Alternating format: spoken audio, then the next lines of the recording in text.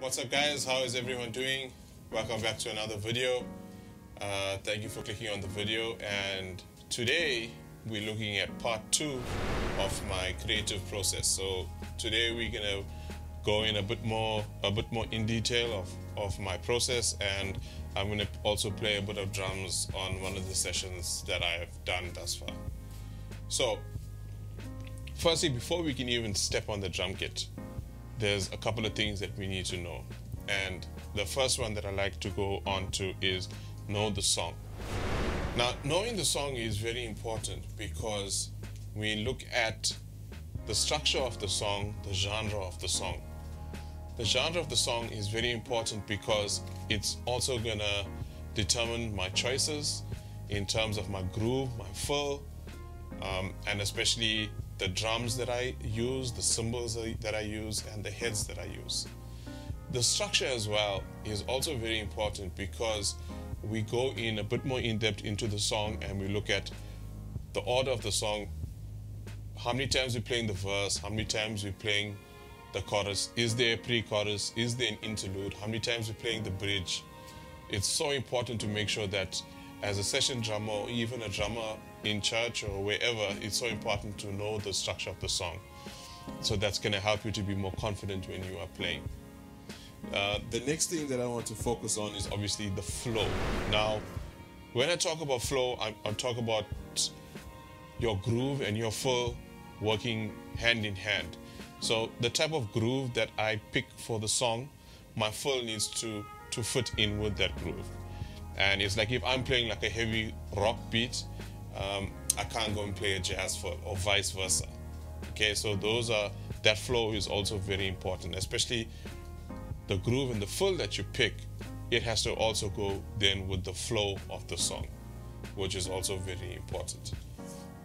Okay, so then from there we go to the drum kit that you choose, or the drums, should I say, that you choose, the heads that you choose, and the cymbals that you choose. Now, this is very important. The genre that I'm playing will determine the size of the drums that I'm using. So, if I'm playing something that's more contemporary and more rock, on, on, a, on a rock kind of feel or alternative kind of feel, then I'm going to be using bigger size drums. If I'm playing more on the pop and gospel or R&B kind of feel, I'm going to have smaller drums when I'm playing. Okay, and also with the heads. Again, if I'm if I'm playing uh, more of a, a rock kind of feel, I'm generally going to be playing double ply or two ply coated heads. And if I'm playing more of a gospel kind of feel or R&B or pop, I'm generally going to be playing with clear heads. All of that affects the sound. Even my cymbals as well. So the bigger my cymbals, that's going to be, if I'm using bigger cymbals on my kit, that's going to be uh, related more to, to rock again and more contemporary uh, style of music. And for my smaller size cymbals and my much more brighter cymbals uh, that cut through the mix for R&B, gospel, and pop. Now, if you look at my kit, I've got four cymbals set up at the moment. I've got a 16-inch crash that's more on the brighter side.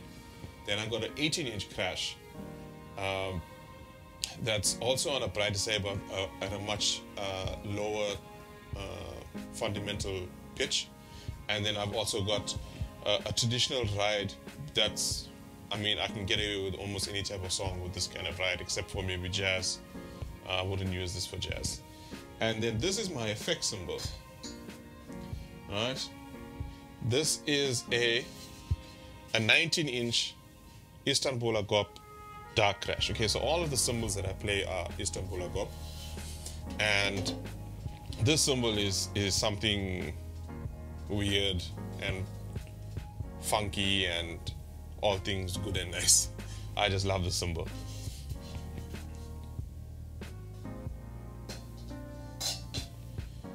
Okay, so these are all the things that we need, need to take into consideration before we actually even start playing the drums. I mean, look at everything that I've covered, and even even in the last video, uh, those are the things that we need to be looking at before we even actually start playing. The one part that I want to go on to is the actual groove.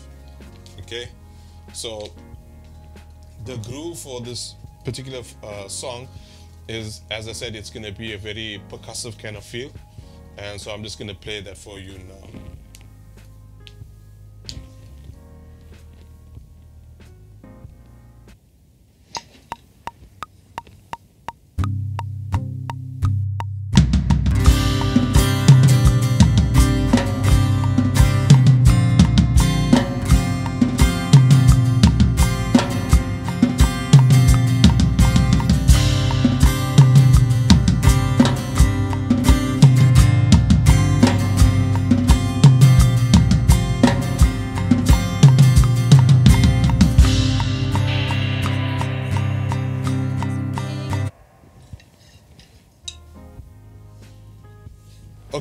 So if you heard that, as I said, there's nothing fancy to that. It's very musical because that's the angle that I was going for. There's not there's not a lot of dense notes, right? So, I mean, I've I've seen so many drummers uh, in the past and and present uh, just trying to play a whole lot of notes on the drum kit and just trying to play as fast as possible and not really respecting the song and not really trying to to make sure that they are really embodying the song in what they are in what they are playing. And so that's what I've tried to do with this track is I've tried to listen to all of the parts. I've tried to listen to uh, the guitarist's rhythm section and all of his picking and, and his strumming to actually help me to come up with this kind of groove. Uh, I, I, speak a, a little bit about that in the first video. So the main things that I use to try and help me out is I use texture. So if you listen to the first part, going into the downbeat of two, I have this. Right, so that's also a texture. Then for the other parts, I'm using the toms. Then um, if you listen carefully, you'll, you'll hear that when I'm playing the snare again, it's not on the downbeat of four, but it's on the end of four. So eh, to give me like a timbali kind of sound, I've, I've cranked the snare up and so it, it gives me this. So if I had to play that, it'll be this. Okay, so you can hear all of that and how I've used my knowledge and my understanding to work for the song. I think that's so important for us to go through. Um, the other thing that I want to talk about, uh, I'm doing a lot of talking. Uh, what I want to talk about is less cymbals. I mean, if you heard me playing, you would have noticed that there wasn't a lot of cymbals in my playing. Uh, because especially when you're recording drums, cymbals uh, tend to cover a whole lot in the mix and that's something that we don't want. And then again, if you look at it, I played my cymbal in strategic parts. And then the other thing as well is that I use my, uh, my 19 inch Darkcrash. So because I didn't want to take away from uh, from what the acoustic guitar was doing. And because it was in a smaller section of the song and it, I was not going into a bigger chorus, I didn't use any of my bright cymbals. I used a very dark cymbal, so it's set within the mix. That's also something that I think us as drummers need to pay attention to. I mean, even for myself, when I listened back to some of my recordings, uh, I could hear, gosh, like every second bar I'm playing a crash and there was no need for it. And sometimes you just need to sit in the groove for a lot longer and just let that groove breathe out. That we need to be listening to the notes. We need to be listening to the notes that have been played on the in the song. Is it a staccato note? Staccato meaning like very short. So then maybe I can play a jab. Uh, a jab is when you open and close the hi-hat. Or do I need to hit the crash cymbal and then choke it with my hand? Right? So those are the, all all the kind of things that we need to be listening to as we are we are playing and selecting what it is that we are going to be playing in the song. Uh, I was watching a movie today. Uh, I don't know if you guys can remember a movie called Cool Runnings. Uh, they were showing it on, on TV today, and it came out in 1993. And it's such an excellent movie because there's so many little gems that you can take and you can um, apply to your life from that movie. And one of them was the two guys that were in the bobsled uh, team for Jamaica were actually quarreling because one guy was saying, no, Sweden is the best team. We need to be copying them so that we can be successful. And the other guy was saying, okay, I hear what you are saying, but don't you think we need to be us and we need to be Jamaicans and we need to let our own Jamaican flair come out when we are when we are racing, and that's what is going to set us apart. And so that's something as well that I always try and instill in my students is that don't try and be like me or don't try and be like another drummer that you see. Be yourself on the drum kit. And that's when people are going to appreciate it more. And that's when God is going to appreciate it more when you are using your own artistic creation on the instrument. I mean, even if you listen to how I tune my drums and how it's EQ'd and processed, it's it's a little bit different from how everybody else is doing it because I want it to be unique in the sense where this is how I like it to sound and this is how I feel drums should sound. And so this as well is also likened to the Jared Princely brand. And that's what we need to be trying to do. We need not, not to be, yes, we should be learning from others, but we should not be copying their styles and their ways of doing things. We should be coming up with our own ways of doing things. And I mean, you can use that for any field that you are in. Be an innovator. Don't imitate, innovate.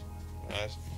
And the last step, which for me is the most important thing, is before I come down to record each session, I always make sure that I pray and I'm always uh, reminded of my hands and I ask God to bless my hands and my feet and I ask Him to please use that for His glory.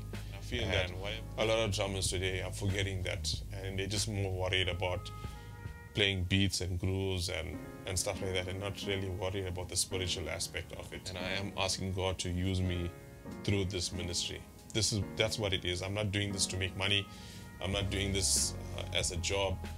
Above everything else, this is a ministry for me, and this is how I'm giving back to God. To some people, this may be another drum video and stuff like that, but for me, it goes a bit a whole lot deeper in the sense that I'm honoring honoring God with what He has blessed me with, and I just want everybody as well to to try and think about what they're doing for God like that as well. And uh, yeah, so guys, we are living through some hectic times now. Please remember, wash your hands, social distancing. Uh, if you can avoid going out, don't go out. Only go out for for things that you really need. And please stay safe. Thank you so much, and God bless. Cheers.